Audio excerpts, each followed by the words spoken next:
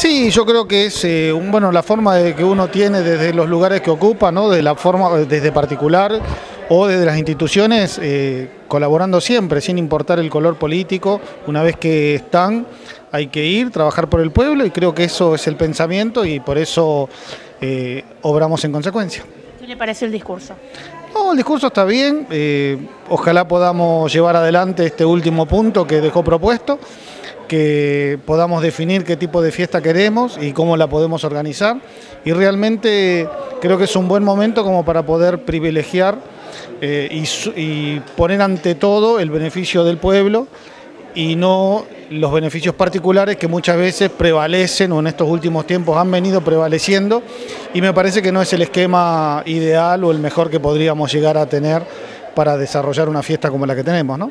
acuerdo con que empiece a tener más participación eh, el sector privado, instituciones? Hace mucho tiempo que se lo estamos pidiendo, reclamando, no solo a esta gestión, a la anterior también, algún tipo de participación, no solamente en la toma de decisiones, sino eh, bueno, en cómo orientar la fiesta y que sí sea el municipio el que termine manejando la cosa, pero que sea una idea que haya sido consensuada y donde se puedan participar y sean escuchadas las opiniones, que realmente no venía sucediendo.